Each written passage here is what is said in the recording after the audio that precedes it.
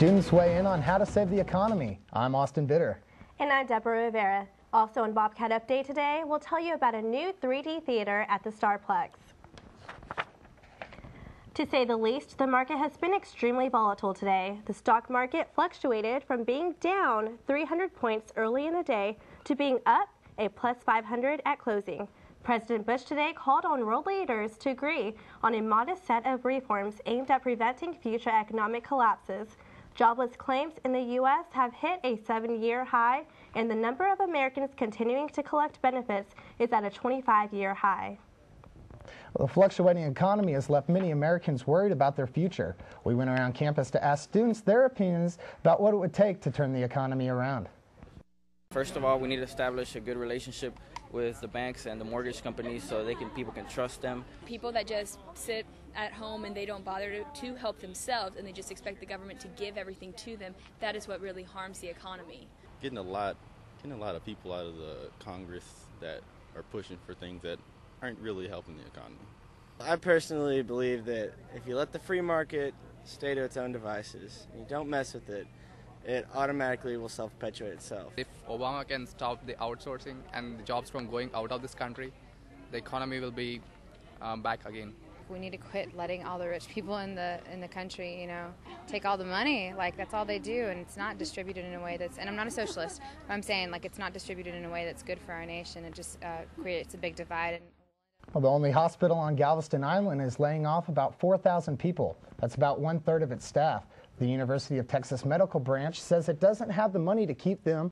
Hurricane Ike caused more than $700 million in damage to the facility, which is used for teaching, and insurance only covered 100 million.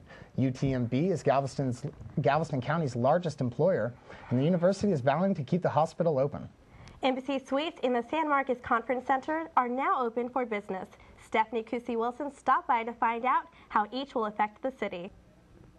You can't miss the 10-story building right off McCarty Lane.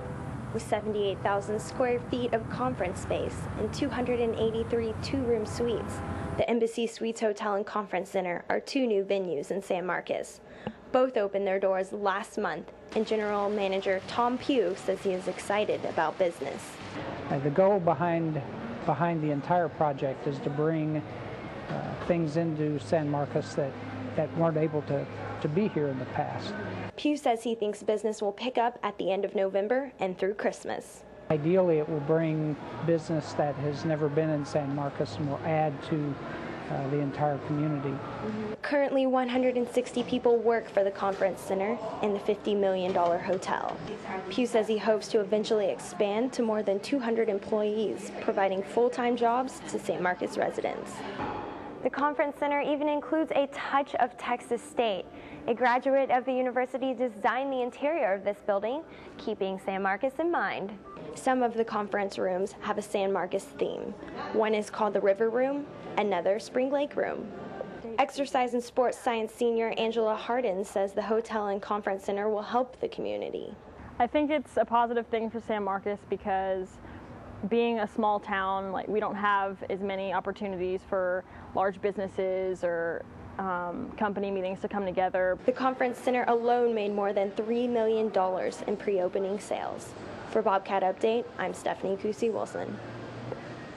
Former Austin Mayor Carole Keeton Strayhorn filed paperwork Wednesday appointing a campaign treasurer for mayoral bid May 2009. This allows Strayhorn to begin raising and spending money on a mayoral campaign, but does not officially place her name on the ballot. Strayhorn was Austin's first female mayor when she was elected to the post in 1977. Her campaign treasurer says friends and supporters have been urging her to run again. And so far, two candidates besides Strayhorn have filed with the clerk's office to run for mayor.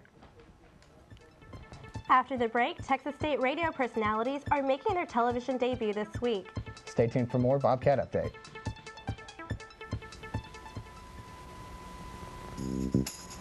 The San Marcos River is the crown jewel of San Marcos. It is home to numerous wildlife and is a center for outdoor activity in the greater Central Texas area. Founded in 1985, the San Marcos River Foundation works to preserve the natural beauty of our hometown's greatest resource. Once a month, the foundation organizes and performs river cleanups.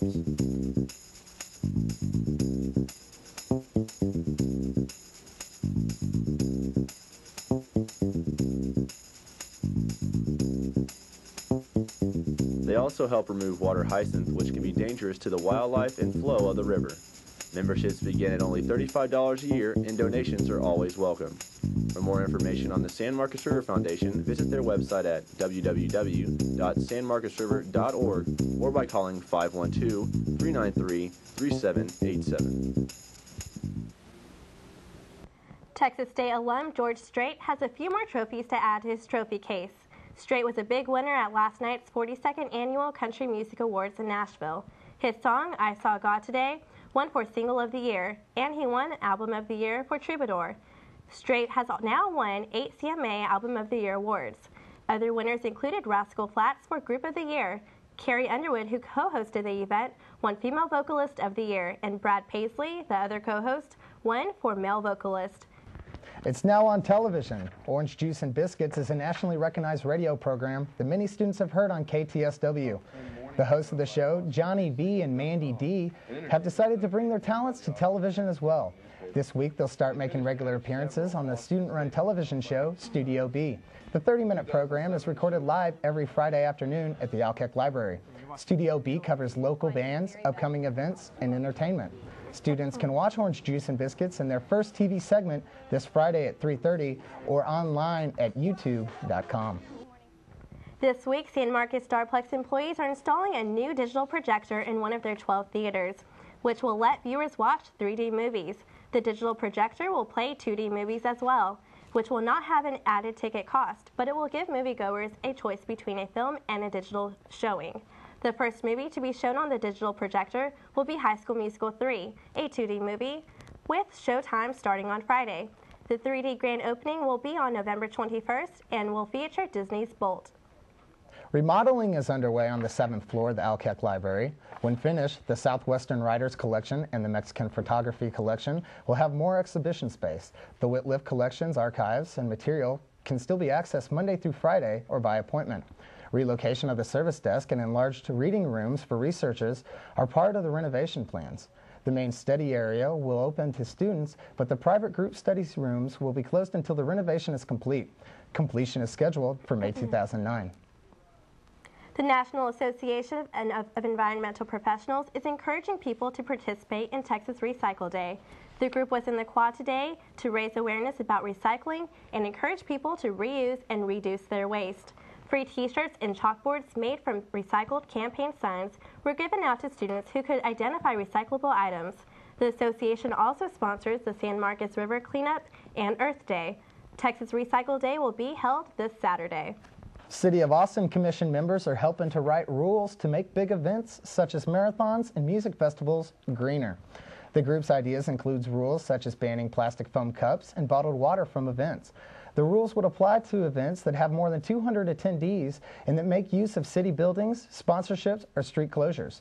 The penalty for not uh, complying would be prohibiting the event organizer from using resources for 18 months.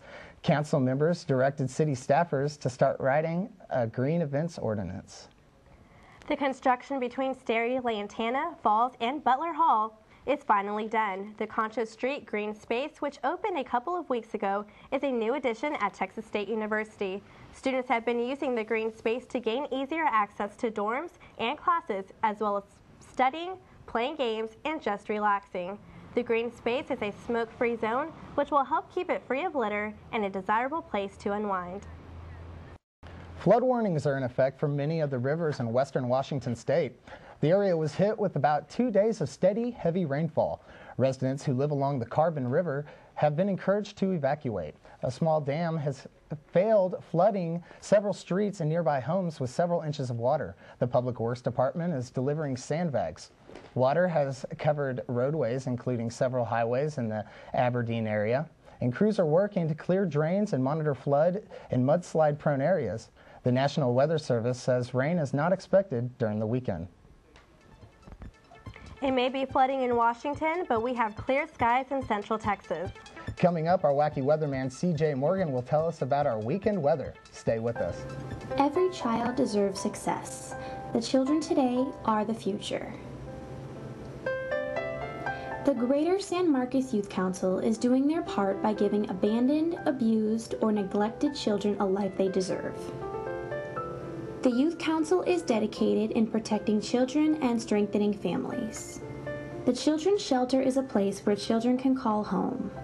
The Greater San Marcos Youth Council provides these children with a safe, structured living environment.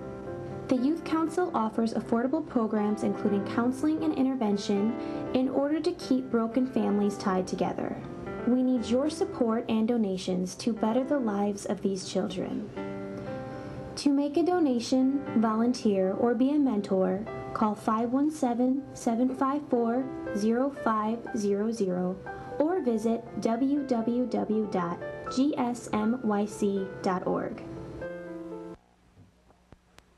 And welcome back. Time for your Bobcat Update weather. As you can see, it's a lovely day out in San Marcos. People basking in the sun, lying out in their bathing suits, just uh, enjoying the good weather while it lasts. Even the turtles getting out and enjoying it. Currently in San Marcos, though, it's 79. It was a little windy today, but still beautiful. Let's take a look at the weather around Texas. Mild as well, very nice. And there we go. Yes, very nice, wonderful around Texas. Out in the West Texas, town of El Paso, 69. 68 up in uh, Amarillo, and I promise uh, I won't try to sing again. To the east we go. Wonderful out there as well. 72 in Dallas, and let's uh, look down in the valley. Cool 65 in Brownsville, and our neighbor to the north, Austin, sitting also at uh, 76. Let's take a look now around the country, and it is mild weather, still getting a lot of rain in D.C., and I don't think they're going to get much relief from that. Up in NYC, it is uh, 62 right now and 67 in the Windy City.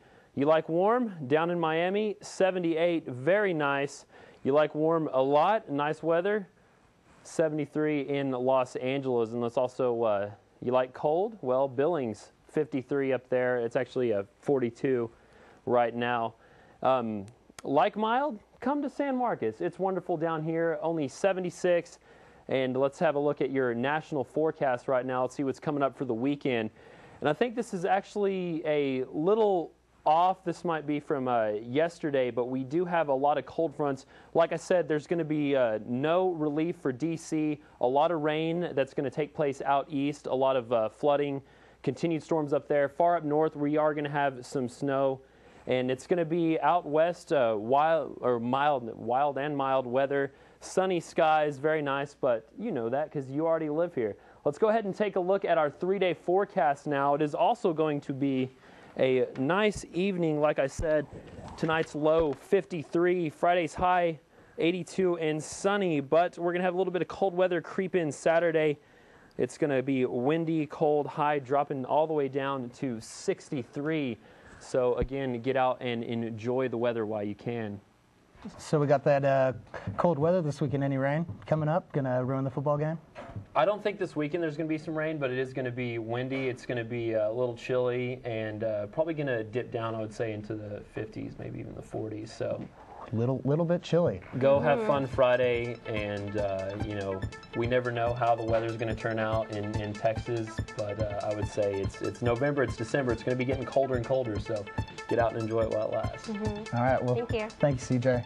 Uh, when we come back, Alex Heathman has the latest in sports. Are you new to Texas State? Are you feeling lost and lonely? Do you want to make a friend? Then we have the answer for you. The Texas State Mentoring Program can help. Located on the ninth floor of JCK, the program's goals are to offer meaningful relationships and more involvement on campus to freshmen and transfer students. Campus mentoring also increases the academic success and retention of new students. The process begins by visiting the offices and filling out an application. The program then matches you to someone based on your interests, major, and whether you prefer a peer student or faculty member. Once matched with your mentor, they can take on the role of a close friend, a guide, a tutor, and even an advisor. To learn more, go to www.vpsa.txstate.edu. The Texas State football team will be back in action Saturday afternoon for the final home game at Bobcat Stadium. The 6 and 4 Bobcats will take on the 2 and 5 Nicholls State Colonels. The Bobcats are currently in a three-way tie for second place with Northwestern and McNeese. With conference leader Central Arkansas unable to go to the playoffs because of transitioning to Division One. The remaining seven teams will be fighting for the right to represent the Southland in the NCAA tournament. The Cats will finish up their season next Saturday with a trip to Huntsville to take on the Sam Houston State Bearcats. The Texas State Bobcats will open NCAA championship tournament action tomorrow night at 7 p.m. when the soccer team faces off with the Texas A&M Aggies in College Station.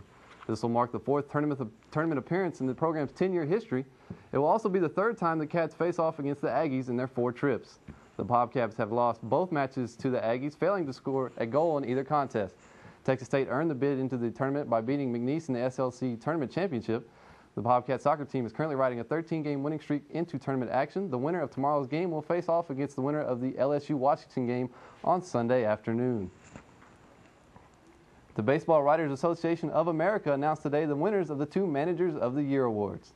The American League was a runaway as Tampa Bay manager Joe Maddon took the Rays from last place to the franchise's first appearance in the World Series. Lou Piniella won the National League Manager of the Year after guiding the Cubs to the best record in baseball. Piniella beat out World Series champ Philadelphia Phillies manager Charlie Manuel for the award. This marks the third time Piniella has won the award and the first time he has done so in the National League. The San Antonio Spurs were back in action last night looking for back-to-back wins against the Milwaukee Bucks. Pick it up early off the, off the Ramon Sessions miss. Andrew Bogut gets the put-back dunk right there. Later, Tim Duncan gets the ball down on the post as you see the Bucks celebrating. Duncan, spin move across the lane with the right hand, throws it up there, gets the and one right there. As then, after that, Roger Mason drives down the baseline, kicks it out to a wide open Michael Finley, who knocks down the three as Manu Ginobili on the sideline, the injured man cheer, cheers on his teammates, but then down two, the, with 10 seconds left, Duncan tried to bring the game to a tie, but he misses right there as he's unable to make that shot in the lane, and the Spurs go on to lose the game by the final of 82 to 78. The Rockets were also back in action last night, traveling to Phoenix to take on the Phoenix Suns. T-Mac and the big Aristotle Shaq taking, talking a little bit before the game and picking up the highlights. Raja Bell right here misses the three, but loose ball goes right to Shaq after one dribble. He throws it down with a huge point, two of his game 18 points, game high 18 points. Then, off a great dish right here by Luis Scola, Yao Ming throws it down over Shaq for two of his 17 points. Then the game turns a little ugly right here in the third quarter when Matt Barnes shoves Rafer Alston out of the way while T-Mac steps up, knocks down the three-pointer. And then after that, Alston goes after Barnes as they shove each other. Shove each other. Then the teams come after each other. You see T-Mac got shoved down, or shoves P- Steve Nash, and Shaq shoved down T-Mac. But in the end, the Rockets would go on to win the game by the final score of 94 to 82. The Dallas Mavericks will take the court again tonight, facing off against the Chicago Bulls in the United Center. The Mavericks are coming off a hard-fought loss against the undefeated LA Lakers Tuesday night. Dirk Nowitzki struggled in the fourth quarter and only finished with 17 points.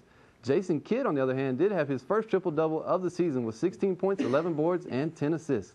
The Mavericks head into Chicago tonight with a 1-4 overall record. And that is a look into the world of sports.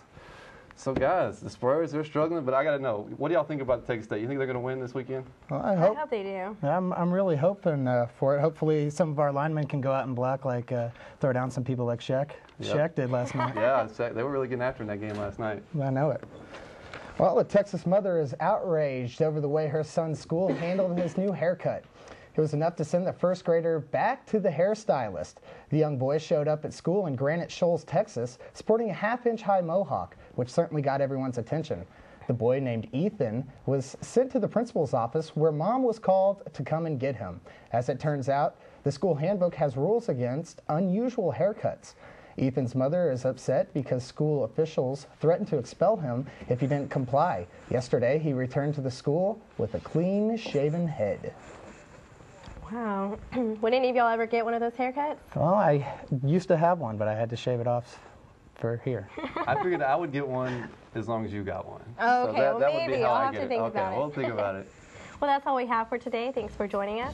Join us again next week for another edition of Bobcat Update. Have a great rest of the week.